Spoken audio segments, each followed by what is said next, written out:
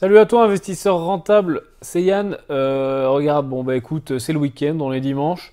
Je suis quasiment en pyjama, euh, sur, euh, tu vois, café, le chat sur la jambe, classique, détendu, tranquille. Et voilà, je me suis dit que j'allais te faire une petite vidéo pour te parler d'une réflexion que j'ai eue d'un mec qui me suit, qui me disait que il avait fait un coup avec sa résidence principale, un achat-revente qui lui avait permis de, bah, se lancer vraiment dans, du gros immobilier euh, et, vraiment de se lancer et de se mettre sur les rails. Alors, je bois une gorgée. Parce que je pense que je vais tellement te parler comme d'hab qu'il va être froid. Donc j'en profite, tu vois. Parce que la fin, à mon avis, je pourrais pas le boire. Hop. Euh, donc, en fait, ce qui s'est passé, c'est qu'il a acheté sa résidence principale. Il a retapé, il a fait des travaux, il a gardé, euh, je sais pas, deux ans, je crois. Et il l'a revendu. Euh, qu'est-ce qui se passe dans ces cas-là? Alors tu sais que sur la résidence principale, euh, il y a un dispositif fiscal qui est, sympa, c'est que quand tu revends ta résidence principale, tu n'es pas imposé. Tu n'es pas imposé sur la plus-value, tu n'as pas d'impôt. Donc c'est quand même pas mal parce que si tu achètes une résidence principale avec des travaux et que tu apportes une plus-value, euh, que tu, fais quelque chose de joli, que tu revends ça bien comme il faut, eh ben, tu ne seras pas imposé sur ta plus-value. Euh, donc je ne sais plus combien il avait acheté, mais euh, prenons des chiffres au hasard. tu achètes 150 000, tu fais 20 30 000 euros de travaux, tu gardes ça 2-3 ans, et puis bah, tu as fait un bon coup, tu avais bien acheté, pas trop cher, tu revends ça 230 000 euros, et ben voilà, la différence, elle est dans ta poche, et elle est sans impôt. Alors c'est vrai que c'est pas mal du tout. Et euh, pourquoi je te parle de ça? Parce que ça peut aussi être une stratégie, et c'est un des leviers euh, d'investissement, enfin de, oui, d'accélérateur d'investissement dont je parle dans le bouquin euh, que je suis en train d'écrire. Tu es au courant? Si tu n'es pas au courant, tu as le lien dans, les, dans, la description de la vidéo.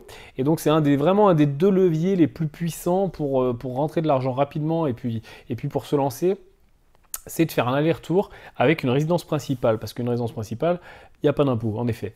Euh, donc ce que tu peux faire, je lis beaucoup de choses, j'entends beaucoup de choses qui ne sont pas vraies sur euh, l'administration fiscale et le calcul de la plus-value de résidence principale. Il y a des gens qui disent il faut garder la résidence principale un an, enfin il faut garder ta résidence minimum un an, sinon tu n'es pas considéré comme résidence principale. Il y en a d'autres qui disent euh, il faut euh, habiter dedans, forcément, il faut faire ci, ça, ci. Je vais t'expliquer, je vais mettre un peu tout ça au clair. Déjà, je vais lister les points positifs et les points négatifs. Euh, c'est pas compliqué. Point positif, le gros de chez gros, hein, c'est que bah, il n'y a pas d'impôt. C'est de l'argent facile, hein, ça c'est clair et net que c'est pas mal du tout. C'est un accélérateur de tes investissements, hein, puisque tu vas pouvoir réutiliser euh, cet argent pour réinvestir. Et tu imagines bien que quand tu pars avec 100 000 euros de côté plutôt qu'avec zéro, c'est quand même plus facile. Alors je dis pas que c'est pas possible d'investir dans l'immobilier avec 0 euros. D'ailleurs, c'est euh, ce que je prône et c'est ce que je te dis et c'est ce que euh, je te recommande de ne pas faire d'apport sur tes biens locatifs, qui s'ils sont bien montés, tu n'en auras pas besoin et la banque ne te le demandera pas.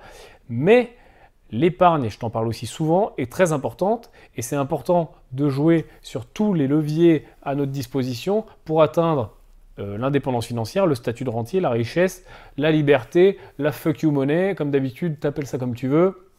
Mais voilà, on a plusieurs armes à notre disposition, il faut toutes les utiliser. Donc c'est sûr que d'avoir du cash, euh, on va surtout pas cracher dessus. Hein. Voilà.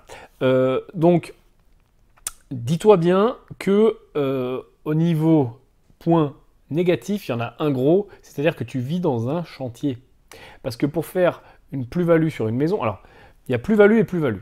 Une petite plus-value, une plus-value euh, que j'entends par petite, c'est quoi? C'est 5, 10, 15, 20, 30 000 euros de plus-value.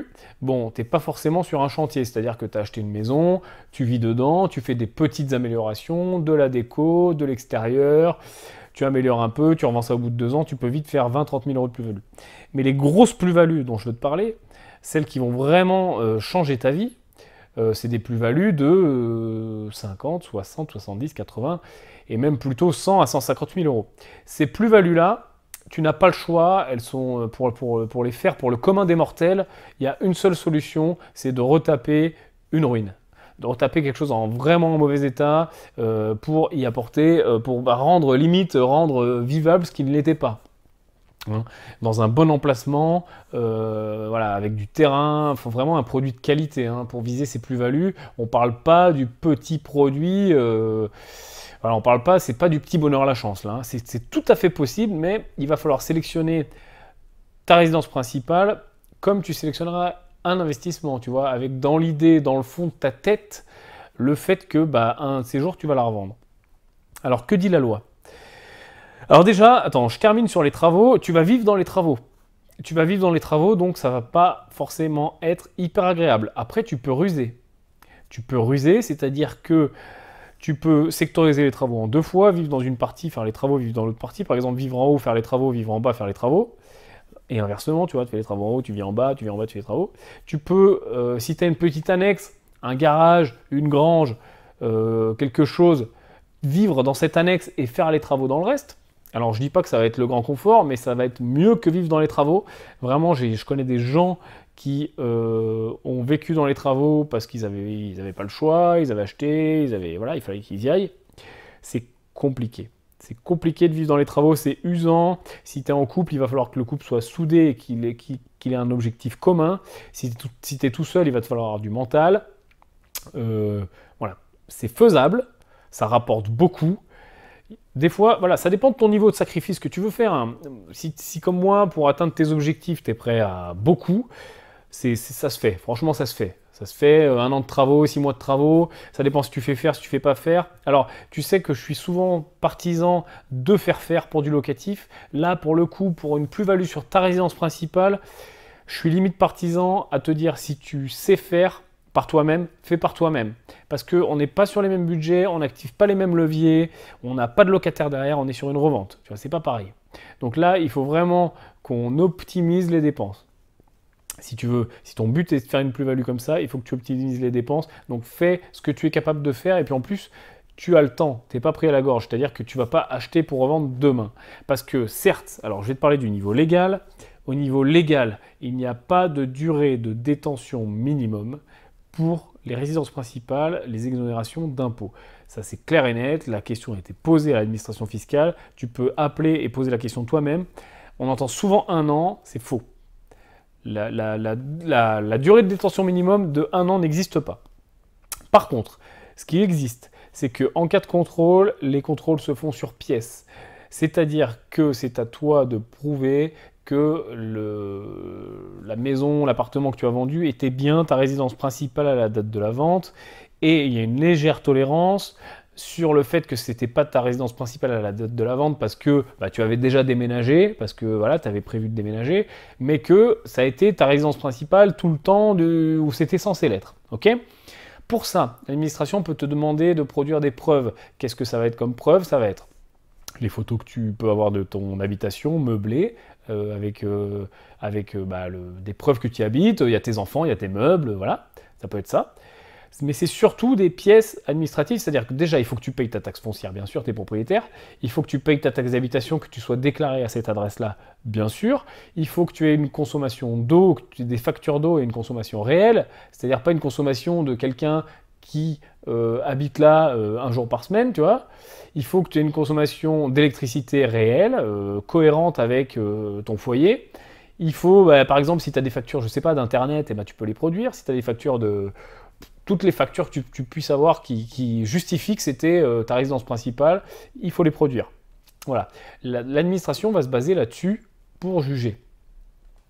Après, euh, tu sais, ils ont, ils ont le pouvoir d'enquêter de, et, de, bah, de fouiner, mais euh, ça se fait a posteriori, c'est-à-dire que bah, euh, quand ils te déclenchent un contrôle, tu as déjà vendu, donc ils ne peuvent pas venir voir si tu habites vraiment là. Mais voilà, ils vont te demander un maximum de pièces. S'ils ont un doute, attention, voilà.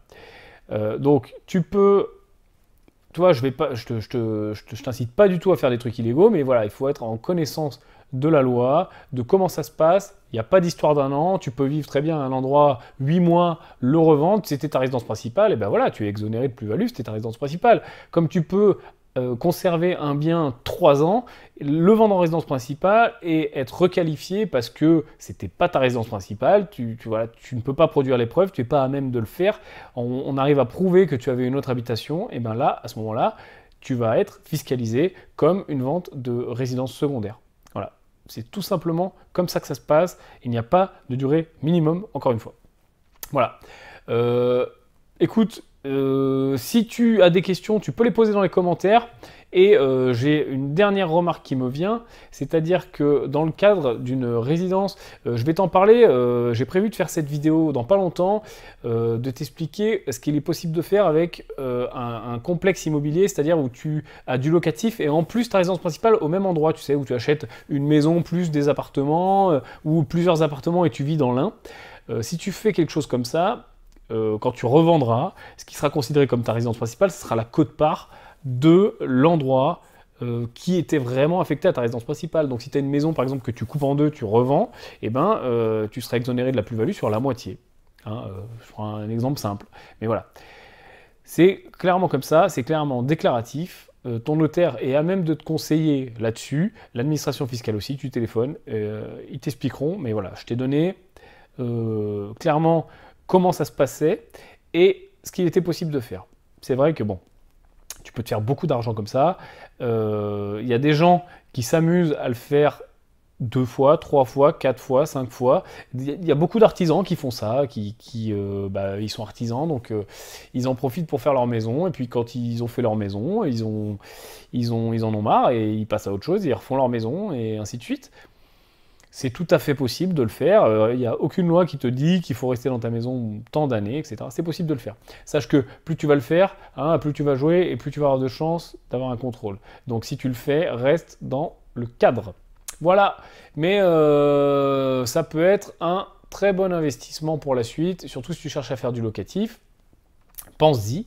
Euh, si tu es déjà propriétaire de ta résidence principale et que tu as envie de changer, pense-y aussi. Et d'ici là, écoute, je vais reprendre le cours normal de mon dimanche avec le chat. Et, euh, puis on se revoit demain, écoute, hein, comme d'habitude. Si tu veux t'inscrire pour le livre que tu n'es pas encore inscrit, tu as le lien dans la description de la vidéo. Tu t'inscris, tu suis, tu cliques. C'est hyper facile, tu reçois le livre gratos. Euh, écoute, très cher investisseur rentable, je te souhaite un bon dimanche, un bon week-end. Profite de la vie, profite de ta famille, repose-toi bien et amuse-toi bien, have fun, goodbye, à plus. C'est Yann, on parle d'immobilier, c'est tous les jours. À plus. Miaou